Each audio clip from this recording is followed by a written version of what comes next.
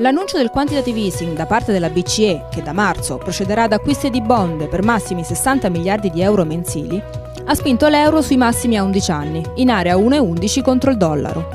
La divisa unica europea ha ripreso vigore nelle ultime sedute, complici le attese di interventi da parte della Swiss National Bank sul Forex per calmierare l'ascesa del franco svizzero contro l'euro. L'agenzia di rating Standard Poor's ha ridotto il merito di credito sul debito russo a BB+, ossia a livello junk. L'outlook è negativo, con la possibilità di nuovi downgrade in caso di ulteriore deterioramento dello scenario economico. Il rublo ha reagito ritornando nei pressi dei minimi storici contro il dollaro e portando a circa meno 16% il saldo da inizio anno, dopo il tentativo di recupero nelle ultime settimane del 2014. Risalita sopra quota 1,50 per il pound contro il dollaro, in scia alle parole di Christine Forbes. Il membro del Comitato di Politica Monetaria della Bank of England ha sottolineato come i tassi di interesse britannici potrebbero salire prima di quanto attualmente il mercato si aspetta, se l'inflazione rimbalzerà con forza dopo il recente calo. Tonfo ai minimi da quasi 6 anni del dollaro canadese, dopo la decisione a sorpresa della Bank of Canada di abbassare i tassi dall'1% allo 0,75%. La decisione è stata motivata dagli effetti negativi sull'economia del paese nordamericano del tonfo dei prezzi del petrolio. Buongiorno e benvenuti a Forex Time. I primi due fondamentali appuntamenti di questo inizio 2015 sono ormai alle spalle ma continueranno a fare sentire i loro effetti anche nelle prossime settimane.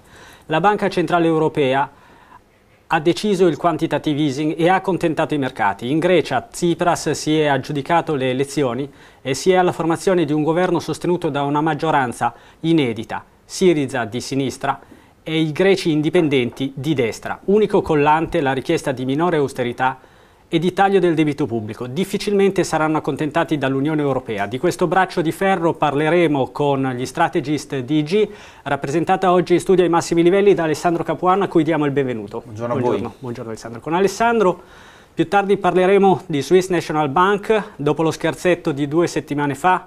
Eh, la Banca Nazionale Svizzera continua comunque ad agire sui mercati valutari. Eh, vi ricordo prima di collegarci con la sala operativa di G gli indirizzi a cui potete scriverci via email a forextime at finanzaonline.com, via twitter a at underscore forextime. Dovremmo ora essere in collegamento con uh, Filippo di Odovice da Milano. Buongiorno Filippo. Buongiorno a tutti. Dunque Filippo, ci siamo lasciati eh, dietro le spalle due primi appuntamenti importanti. Stasera c'è un altro, la Federal Reserve diciamo, comincia a chiarirsi quello che potrà essere lo scenario per il 2015, eh, soprattutto per quanto riguarda l'euro-dollaro che ha iniziato con un calo di oltre 8 punti percentuali, segnando lunedì un minimo a 1,1098, ora ha recuperato e si è riportato sopra 1,13. Sulla valuta, su questo cambio, c'è la possibilità di cominciare a operare anche sui rimbalzi dell'euro o riprenderà comunque inesorabile la discesa? Ecco, per quanto riguarda um, l'orizzonte di medio periodo, la, la, noi siamo convinti che il cambio euro-dollaro continuerà a indebolirsi, ma come eh, tu hai detto giustamente, ecco, per quanto riguarda eh, un orizzonte di breve periodo, ci sono opportunità di trading per eh, delle reazioni del cambio euro-dollaro. Oggi, come hai detto, ci sarà la, la riunione della Federal Reserve. Ecco, la Federal Reserve Uh, sarà interessata comunque a indebolire un po' uh, il biglietto verde, il dollaro.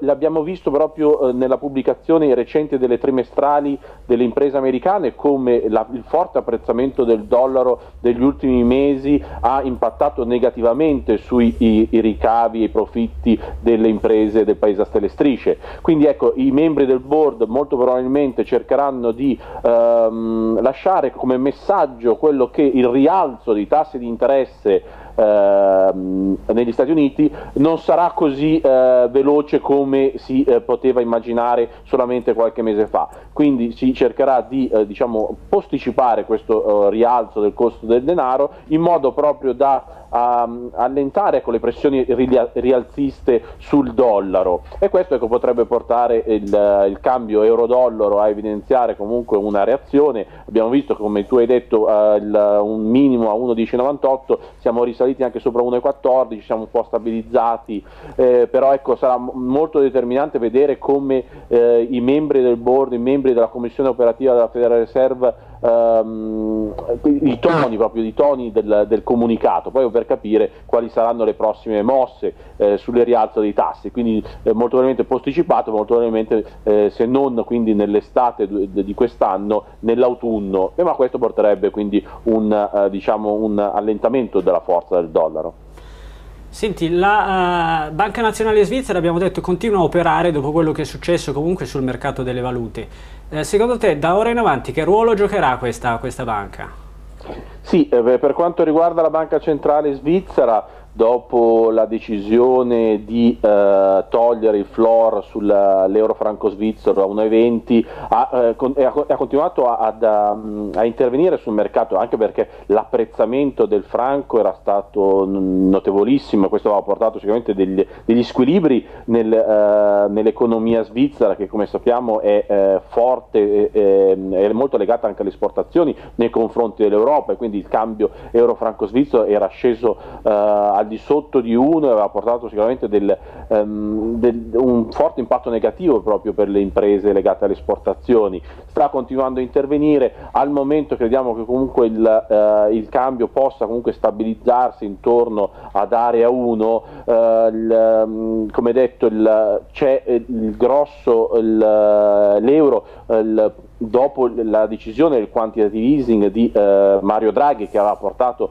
uh, chiaramente un uh, forte deprezzamento per quanto riguarda la moneta unica, adesso sembra che molti operatori che erano, avevano posizioni short sull'euro si stanno un po' riposizionando. la situazione Grecia, come abbiamo visto, ha portato alla formazione del nuovo governo, anche di, della nomina di un ministro delle finanze molto diciamo, ehm, eh, forte oppositore delle misure di austerità, eh, però si, anche qui la, la situazione sembra che si stia, uh, sia abbastanza chiara, quindi con la Grecia che cercherà di uh, trovare una rinegoziazione del debito nei confronti uh, della Troica. Um, ecco, quindi per quanto riguarda ecco, la Banca Centrale Svizzera, molto probabilmente si stabilizzerà la situazione e vedremo comunque un cambio che eh, non dovrebbe evidenziare forte volatilità almeno per quanto riguarda il breve periodo.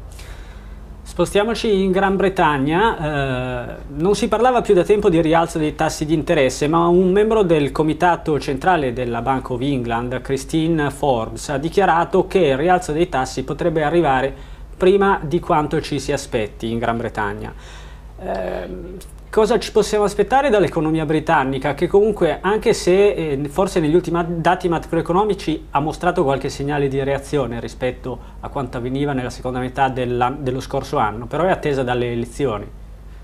Sì, ehm, ci sono um, diversi fattori che ci lasciano credere che eh, la Bank of England non interverrà così presto sui tassi di interesse. Eh, innanzitutto eh, noi crediamo, noi riteniamo che possa comunque attendere la Federal Reserve prima di agire e quindi insomma, anticipare anche i movimenti della, della Federal Reserve sarebbe alquanto strano. Ci sono le elezioni a maggio, elezioni a maggio che sono molto importanti, soprattutto visto anche il successo dei dei partiti diciamo euroscettici in Grecia eh, in, in, in, Gran Bretagna c'è questa volontà di uscire dall'Unione Europea ecco, ci potrebbe essere quindi anche il successo del partito UKIP, quindi questo partito che è eh, contrario proprio al, alle politiche dell'Unione Europea. Um, il rialzo dei tassi, ecco, l'economia eh, inglese sì è vero che ha evidenziato dei segnali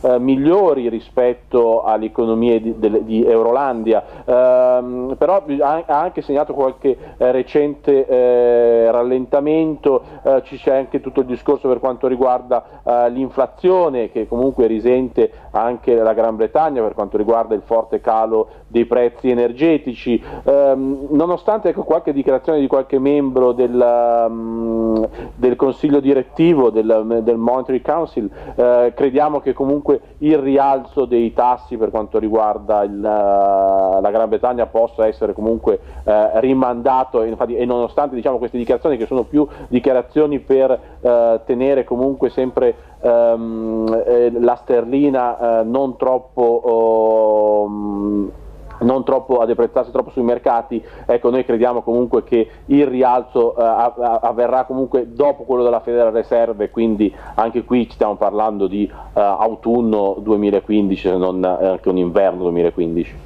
Chiudiamo con un rapido giro sulle numerose banche centrali eh, che eh, si riuniranno nei prossimi sette giorni, alcune sono importanti, altre eh, molto meno. Su, da quali ti aspetti la possibilità uh, che arrivi qualche sorpresa?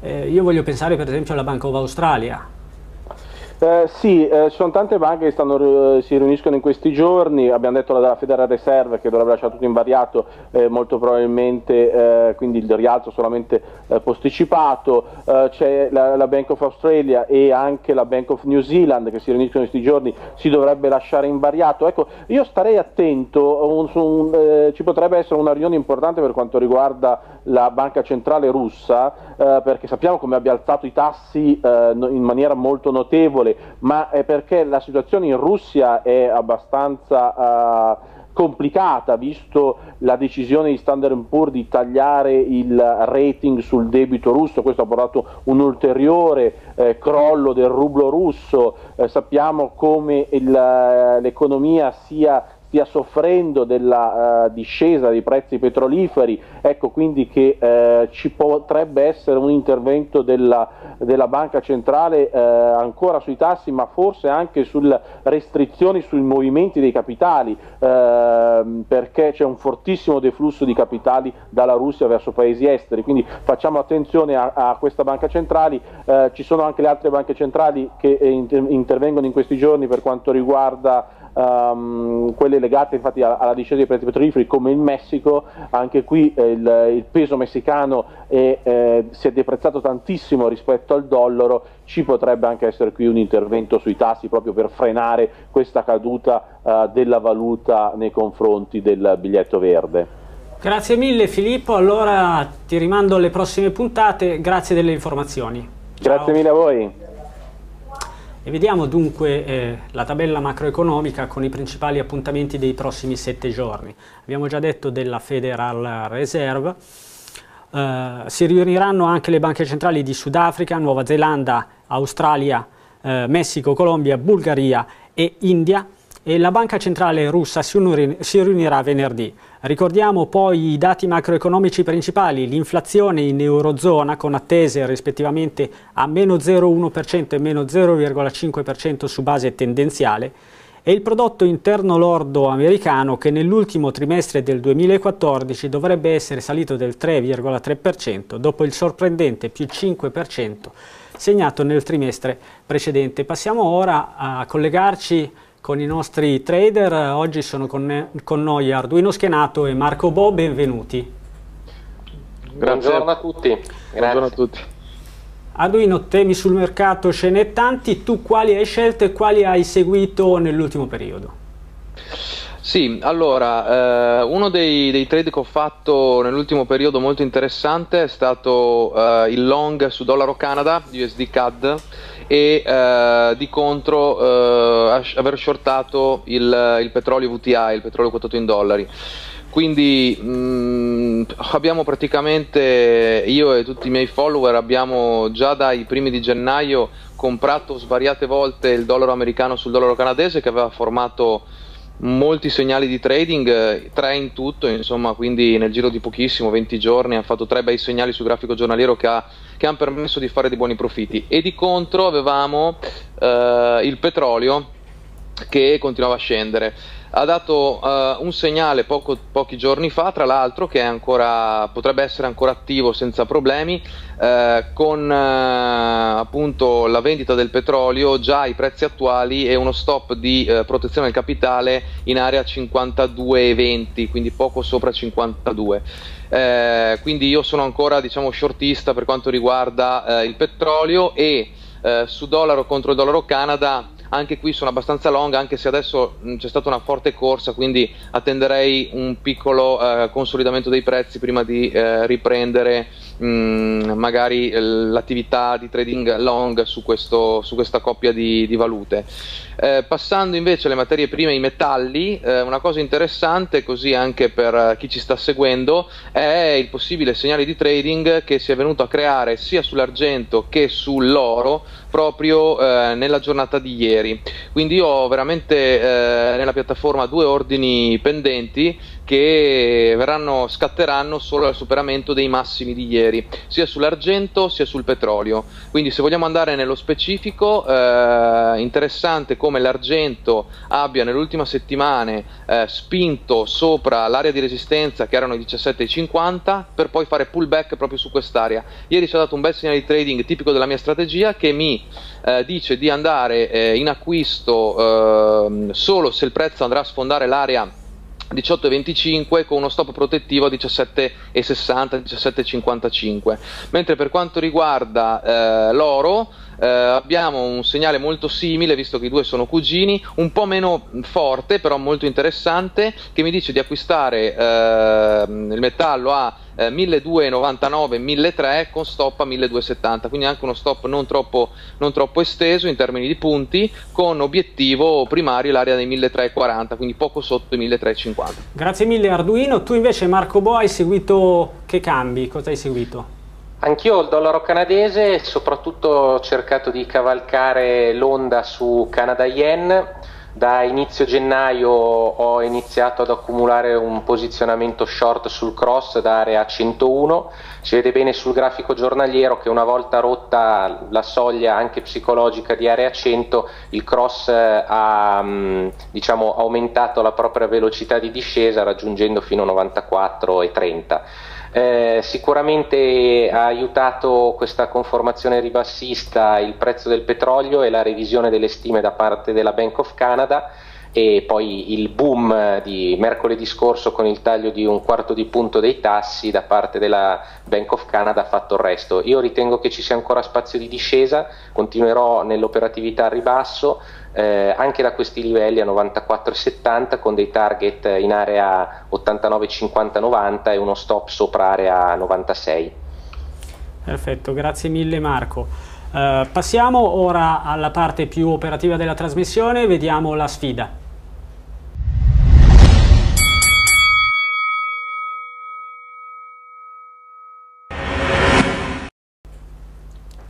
Domande con tempo di risposta da 45 secondi sia per Marco che per Arduino. Cominciamo con Arduino, parliamo di sterlina dollaro. Eh, dopo una breve immersione sotto 1,50 si è tornati sopra il livello.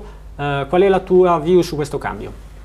La view rimane short, eh, aspetterei un segnale di trading short in area 1,5255 che se dovesse formarsi avrebbe uno stop di circa una figura, 100 pips e obiettivo 1,4870 fantastico Arduino. Marco?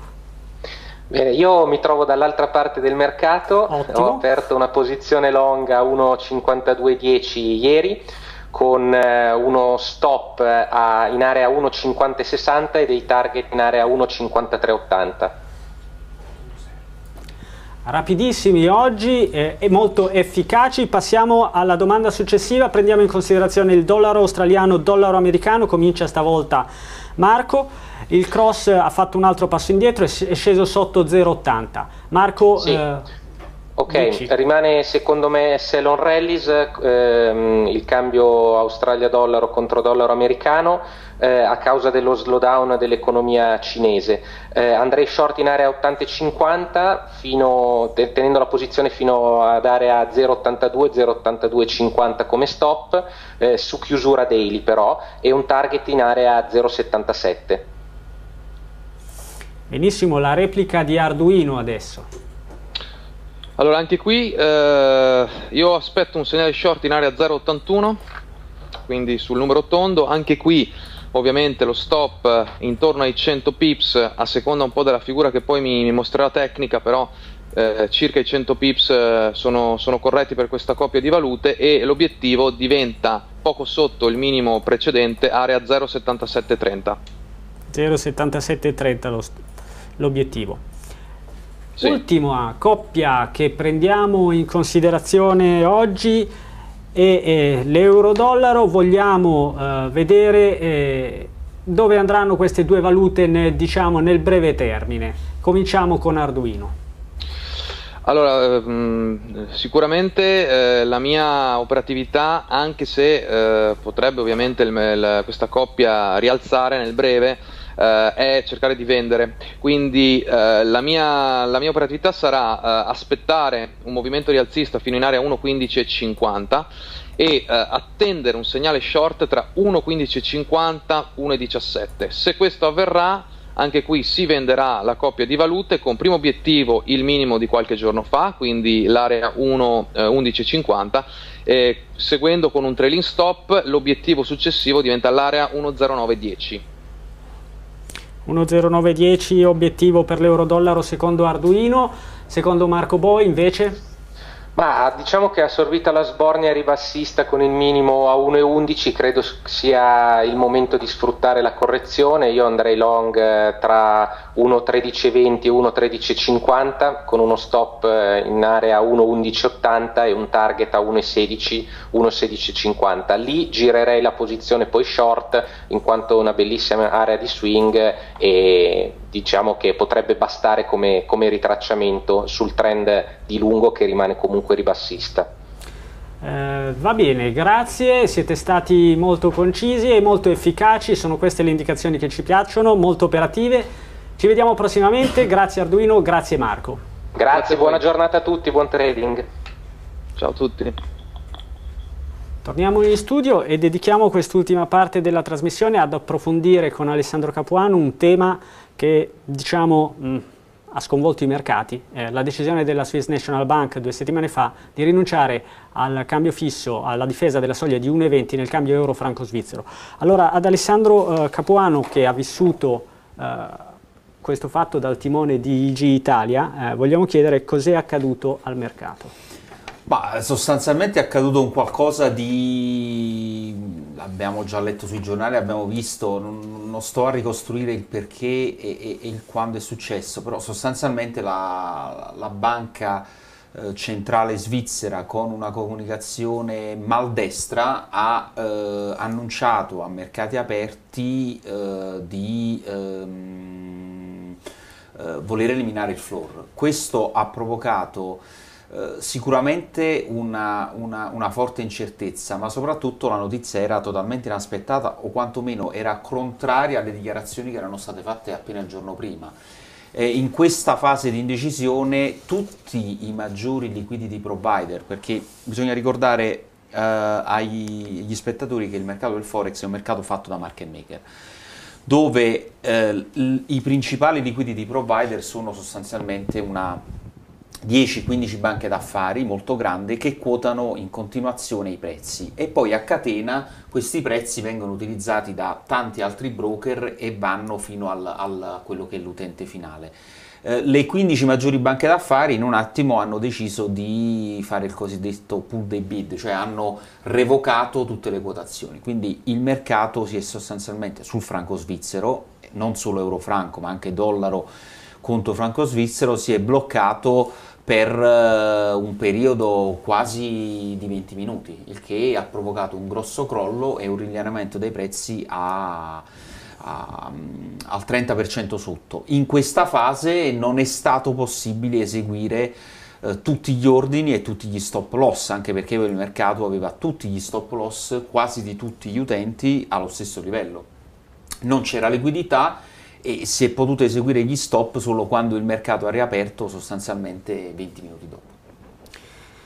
Ehm, ci sono anche altri strumenti che possono essere utilizzati e io voglio chiederti se un cliente avesse operato utilizzando uh, gli ECN avrebbe... No, mh, non sarebbe cambiato nulla, questo è un falso mito. Gli ECN spesso vengono visti come un... Uh, una, una, innanzitutto spieghiamo che cosa sono. Gli ECN sono dei circuiti di negoziazione dove eh, il trader compra e vende eh, i cross, compra e vende la valuta non andando a operare direttamente con un market maker, ma andando a operare con una selezione di market maker e sceglie il prezzo tra i migliori market maker. Quindi è un book eh, come quello che c'è sul mercato azionario dove posso vedere domanda e offerta off- che sono fatte dai market maker eh, e posso eh, applicare non direttamente sul singolo market maker ma su una selezione di market maker.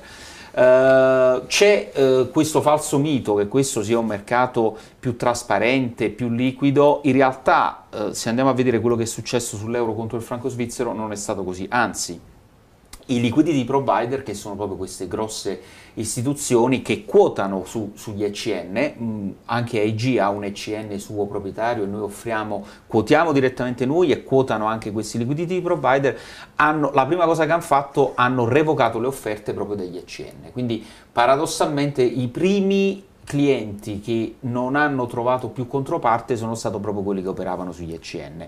Questo perché? Perché in una situazione di poca liquidità e di restrizione noi abbiamo dei limiti, tutti i market maker hanno dei limiti e hanno preferito dare liquidità ai propri clienti interni piuttosto che andare a quotare sulle ECN. Quindi anche purtroppo chi avesse avuto operazioni in essere e, e voleva uscire dalla posizione su un ECN avrebbe preso prezzi uguali se non peggiori a quelli che hanno preso i clienti che operano con un singolo market maker. Ci sono state diverse comunicazioni da parte di diversi broker eh, e non tutti hanno dichiarato perdite. È possibile secondo te che qualche intermediario eh, sia uscito indenne da questa tempesta o abbia addirittura guadagnato? Allora, mm, su questo va fatta una differenziazione. Innanzitutto ci sono due tipi di, di, di intermediari sul mercato. Ci sono tutti gli intermediari che sono quotati, come ad esempio noi, che eh, hanno comunicato, noi penso che siamo stati i primi, in due ore abbiamo comunicato immediatamente quelli che sono stati gli effetti della, delle operazioni sul franco svizzero. Uh, e abbiamo un obbligo verso il mercato, un obbligo verso i regolatori, quindi lo abbiamo fatto in maniera abbastanza veloce e trasparente. C'è poi tutta una serie di intermediari più piccoli che non sono quotati e non hanno questo tipo di obbligo. Uh, risponderti e, e, e, a mio avviso è molto improbabile che un intermediario sia riuscito a guadagnare o quantomeno l'unico intermediario che è riuscito a guadagnare sono quegli intermediari che avevano una posizione short sull'euro franco svizzero. Ora, siccome da nostri dati il 91% dei clienti all'epoca dei fatti eh, era long, io dubito vivamente che eh, ci possano essere intermediari che erano short. Gli intermediari che erano short erano sostanzialmente quelli che non coprono le posizioni dei clienti, ossia eh, i nostri clienti erano long, AEG aveva coperto quelle posizioni, quindi a sua volta AEG era long per eh, compensare l'esposizione dei clienti. Se noi non avessimo coperto alcuna esposizione, probabilmente saremmo stati short e avremmo guadagnato da questa operatività. Quindi gli unici che hanno dichiarato dei guadagni o che ne sono usciti totalmente indenne sono inevitabilmente quelli che non coprono le posizioni. E, e infatti se vai a vedere la classifica delle perdite, gli intermediari più grossi, che sono quelli che hanno dei flussi maggiori e quindi non possono prendersi in pancia i rischi e, e grosse esposizioni dei clienti, sono quelli che hanno dichiarato e hanno subito più perdite. Uh, un paio di domande ancora. La prima eh, sul, su questo cambio euro-franco svizzero. Prima abbiamo sentito si potrebbe stabilizzare, in realtà però dopo quello che è successo cosa ne pensi? Ma quello che abbiamo visto noi è innanzitutto una diminuzione dei flussi, uh, per due motivi. Uno, sicuramente il principale, una totale assenza di fiducia in quelle che possono essere le comunicazioni e l'operato da parte della Swiss National Bank. Noi abbiamo la sensazione che la la, la, Banca Centrale Svizzera continuerà a intervenire sul mercato, sicuramente non stabilirà un floor perché eh, questo ha dimostrato essere insostenibile, ma potrebbe in, continuare a intervenire sul mercato con operazioni, eh, con operazioni spot. Eh, la realtà dei fatti è che la liquidità sull'euro franco svizzero, i volumi si sono abbassati tantissimo, da un lato per la perdita di fiducia e poi c'è un motivo tecnico molti operatori, dopo il problema sul franco svizzero, molti operatori hanno aggiornato i margini. Noi non, abbia, non abbiamo aggiornato i nostri margini eh, per il semplice fatto che le nostre contoparti che utilizziamo per coprirci sul mercato a noi non hanno richiesto un adeguamento di margini ma quello che sta succedendo sul mercato istituzionale è che le, i grossi liquidity provider in linea di massima stanno chiedendo margini più elevati a controparti più piccole perché percepiscono un rischio maggiore e di conseguenza questo innalzamento dei margini si ribalta poi sul cliente finale. Quindi questo ha provocato una diminuzione dei volumi sul franco svizzero. In linea di massima, mh, mm, se dovessimo scegliere oggi di operare sul Forex, eh, io direi che il franco svizzero non è la prima valuta che mi viene in mente sulla quale operare. Bene, ultimissima domanda, eh, parlando di broker, se dovessi dare dei consigli a chi deve scegliere un broker, cosa gli diresti di guardare? Non vale ovviamente dire scegliete IG. No, no certo, però uh, bisogna essere concreti e un evento come questo è, è fondamentale. Eh, la trasparenza nelle comunicazioni è un qualcosa che paga e la solidità finanziaria noi non abbiamo nessun problema, l'abbiamo dichiarato subito, abbiamo subito delle perdite che in parte sono dovute all'attività di trading perché avevamo degli stop loss garantiti e abbiamo, che abbiamo onorato e eh, non siamo riusciti a coprirci su quei livelli di prezzo rispetto a quelli che avevano stabilito i clienti. Uh, la solidità finanziaria paga uh, sicuramente nel, nel, lungo termine e soprattutto andare a, a, a osservare l'operato in, in, generale che, che, è il broker. Il, il fatto di essere quotati o non quotati può essere irrilevante per un cliente finale, ma uh, ti dà dei eh, requisiti di trasparenza che sono obbligatori per il mercato che ti ti fa sì che la controparte con la quale stai operando eh, ha degli obblighi particolari che dovrà andare a rispettare. Quando ci sono situazioni di questo tipo è inevitabile che eh, i benefici ne possano venire fuori. Benissimo, ringraziamo allora Alessandro Capuano, Head of IG Italia, di essere stato qui con noi. Grazie a voi. Ci avviamo alla conclusione, eh, vi ricordo che eh, l'appuntamento è per mercoledì prossimo alle ore 11, vi ricordo gli indirizzi a cui potete scrivere le vostre domande via email a forextime at finanzaonline.com, via twitter at underscore forextime, buon forex a tutti!